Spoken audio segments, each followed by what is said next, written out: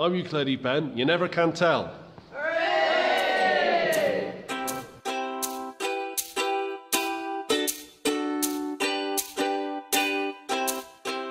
Audio Jungle. There was a two-day twirling and the old